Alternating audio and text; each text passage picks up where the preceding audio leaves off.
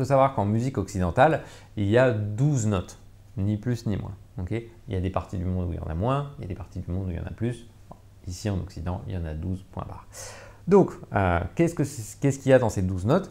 Il y a, vous avez sans doute euh, déjà entendu parler de Do, Ré, Mi, Fa, Sol, La, Si, Do. donc, si on compte, ça fait Do, Ré, Mi, Fa, Sol, La, Si. on va compter sur deux mains 7 notes. Et on a, euh, en plus de ces 7 notes qui sont non altérées, c'est-à-dire qu'il n'y a ni dièse ni bémol dans ces notes, on a 5 notes altérées. voilà dont on parlera un peu plus tard si vous voulez bien. Mais donc, euh, en gros, qu'est-ce qui se passe sur mon clavier? C'est-à-dire que je vais effectivement euh, avoir 7 cases blanches, 1, 2, 3, 4, 5, 6, 7, et 5 cases noires. Donc les 7 cases blanches vont être les notes non altérées, Do, Ré, Mi, Fa, Sol, La, Si, et puis après ça se répète, Do. Et 5 notes euh, altérées, qui seraient donc Do dièse ou Ré bémol, Ré dièse ou Mi bémol, Fa dièse ou Sol bémol. Euh, sol dièse ou La bémol, euh, La dièse ou Si bémol. on laisse ces cases noires et ces notes altérées de côté si vous voulez bien. Et maintenant, on va apprendre à, savoir exactement où sont ces notes.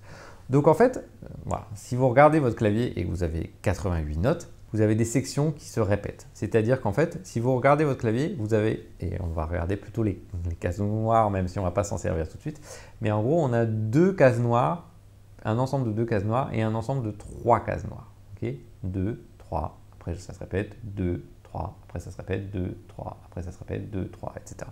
Je pourrais aller dans l'autre sens aussi, hein, 2, 3, 2, 3, 2, 3, 2, etc. Voilà. Euh, il y en a une tout au bout qui est toute seule. mais pour l'instant, on ne va pas s'en occuper. Donc, comment on va comprendre tout ça? En fait, on va se baser sur la note de Do et la gamme de Do, et pendant un certain nombre de leçons, on ne va pas bouger de cette gamme de Do.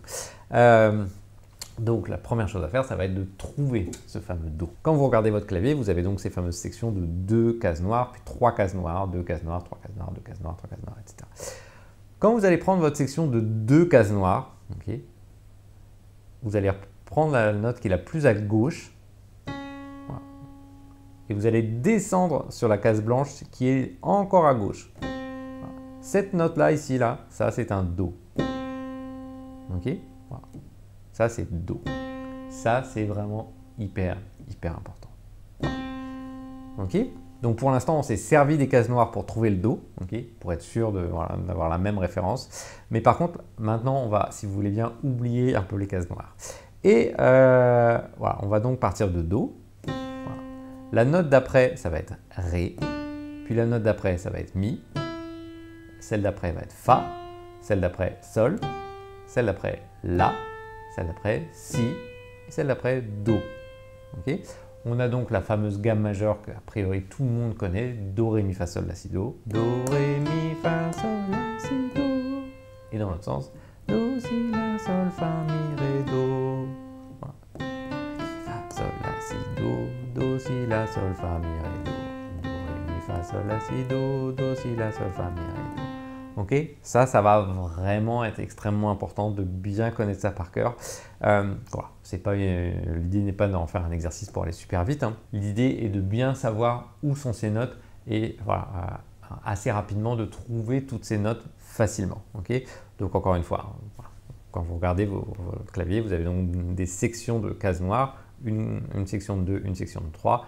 Voilà, vous avez la section de 2. Euh, vous prenez la note la plus à gauche de cette section. Vous descendez sur la note qui est légèrement à gauche. cette note, c'est Do. voilà. Donc, Do, elle est donc, c'est une note qui est entourée d'une case blanche à gauche, qui va être Si. et euh, de, la première de la section des deux cases noires à droite. La note qui est au milieu de ces trois notes-là, c'est bien Do. Comme vous l'avez vu, il y a donc sept notes non altérées qui sont donc matérialisées sur votre piano et ça c'est le grand avantage du piano. Ah, c'est qu'il est extrêmement visuel. C'est-à-dire qu'en fait, effectivement, si on arrive à trouver Do, ensuite on monte les sept cases blanches, Ré, Mi, Fa, Sol, La, Si, et en gros, après ça recommence. En gros, le, piano a deux énormes avantages. le premier, c'est qu'effectivement, il est très visuel. Et le deuxième, c'est que en gros, n'importe qui, même un enfant de 2 ans, peut laisser tomber son doigt sur un clavier et ça produit un son. Et ça produit un son qui est déjà de très bonne qualité. Ce qui, sur d'autres instruments, est beaucoup plus difficile arriver à faire une note qui ne grésille pas sur une guitare, ça peut prendre un peu plus longtemps. Euh, puis après, il y a des instruments comme les, flûtes, les cuivres, tout ça, euh, où là, c'est encore beaucoup plus dur. Bref, donc le piano a, plusieurs avantages, et euh, notamment cet avantage qu'il est extrêmement visuel. Donc voilà, vous avez donc une section de 7 cases blanches, Ré, Mi, Fa, Sol, La, Si, voilà. Et après, effectivement, cette section va se répéter mais en fait, elle va se répéter à une autre hauteur. C'est pour ça qu'on va changer d'octave, oct 8. donc c'est la huitième note. 2, 3, 4, 5, 6, 7. Et en fait, donc la huitième est donc en fait une répétition euh, de la première, mais une octave plus haut si on va vers les aigus, plus grave si on va vers, euh, plus basse si on va vers les graves. Ok, donc si on continue vers les aigus, on a bien Do, Ré, Mi, Fa, Sol, La, Si, Do, Ré, Mi, Fa, Sol, La, Si, Do, Ré, Fa, Sol, La, Si, Do, Ré, Mi, Fa, Sol, La, Si, Do. Voilà. Et la dernière note du clavier, tout à droite, celle qui casse bien les oreilles, c'est bien un Do également. Si je repars de mon Do qui est relativement pile en face de moi, et on va en parler dans un instant si vous voulez bien. Euh, je descends de l'autre côté, j'ai bien mon Do, Si, La, Sol, Fa, Mi, Ré, Do, Si, La, Sol, Fa, Mi, Ré, Do, Si, La, Fa, Mi, Ré. Et après, j'ai donc encore deux petites notes, Si et La. Okay. La note la plus grave de votre clavier, si vous avez un clavier complet à 88 notes. Euh, est un La. Voilà, donc on a un La ici et un Do ici. Ok? Voilà. Et une dernière petite chose dont il faut qu'on parle, c'est ce qu'on appelle le Do du milieu. Parce qu'en fait, effectivement, voilà, euh, il y a plusieurs Do dans votre clavier. il y en a 1, 2, 3, 4, 5, 6, 7, 8. Ok, il y a bien 7 octaves complètes. Euh, donc voilà, il y a 8, 8, euh, fois la note Do. Et en gros, quand on va jouer des notes, sachant qu'effectivement, on va jouer des suites de notes qui vont constituer des accords. Et comme on va essayer de ne pas être trop captif de la partition, il va falloir euh, qu'on puisse communiquer sur euh, à quelle hauteur du clavier on est. C'est-à-dire, je ne sais pas si on fait Do, Ré, Mi. Est-ce que c'est Do, Ré, Mi qui est ici? Ici Ici Ici Ou ici et donc du coup, il y a un repère sur votre clavier qui va être assez important à savoir, parce que comme ça on va pouvoir en parler et savoir de quoi on parle, c'est ce fameux Do du milieu. Donc si je refais mon truc de... J'arrive donc à un Mi et un Fa ici. Hein. Donc je ne peux pas départager le, pile milieu du clavier, ce serait donc cet interstice entre le Mi et le Fa. ok euh, et en fait, pourquoi le Do du milieu va être celui-là plutôt que celui-là? Pour deux raisons. La première, c'est qu'en en fait, il est géographiquement un tout petit peu plus proche du milieu. si on, dit que le milieu est vraiment voilà, cette espèce de petit espace ici, ce petit interstice, en fait, voilà, cette note-là est plus proche de, de, ce milieu géographique que celle-là. Donc déjà, ça va être ici.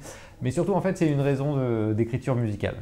C'est qu'en fait, voilà, encore une fois, on va essayer de pas trop euh, être captif de la partition mais on va quand même s'y référer de temps en temps, histoire euh, d'avoir quelques repères. Si vous regardez une partition habituelle de musique, vous avez donc euh, la clé de sol en haut, la clé de fa en bas. Voilà, donc la clé de sol va, plutôt s'occuper de toutes les notes qui vont être, disons, à droite du dos du milieu. la clé de fa va plutôt s'occuper de tout ce qui va être à gauche. donc la clé de fa va être euh, plutôt ce qui s'occupe des graves, la clé de sol plutôt ce qui s'occupe des aigus. Euh, et le, en gros, si vous voulez, donc vous avez cinq lignes en, haut, cinq lignes de clé de sol, cinq lignes de clé de fa. Et en fait, euh, ce qu'il faut bien comprendre, c'est que en fait, c'est comme s'il y avait une onzième ligne et que cette onzième ligne était la ligne euh, au milieu des, en fait, de ces deux espaces de portée. Et que, en fait, sur cette ligne du milieu, si on trace une note, cette note est un Do. Et c'est celui-là. Ok Voilà, donc c'est en fait pour ça qu'il s'appelle le Do du milieu. Voilà, donc c'est très important de, surtout de bien comprendre les cases blanches, Do, Ré, Mi, Fa, Sol, La, Si, Do, De non seulement bien les comprendre, mais bien les apprendre dans les deux sens. Hein. ok Mais c'est aussi quand même relativement important de savoir où est votre dos du milieu. Donc si vous êtes en gros physiquement pile au milieu de votre clavier, le dos du milieu, il est plutôt un peu, euh, je dirais, vers la droite de votre main gauche. C'est-à-dire, voilà, si vous posez votre main gauche, euh, assez naturellement, vous allez avoir le pouce euh, de votre main gauche qui va tomber dessus. Mais on pourrait aussi mettre le pouce de la main droite. Donc il est vraiment, voilà, en gros, si, vous êtes encore une fois physiquement pile au centre de votre clavier, voilà, c'est-à-dire que si je prends mon clavier, j'ai vraiment le, le centre de gravité presque en face. il est quand même un tout petit peu plus en face de ma main gauche. Mais c'est très léger. Mais encore une fois, ça va être utile pour euh, savoir dans quelle octave on joue. C'est-à-dire que selon les morceaux, euh, on va parfois jouer ici.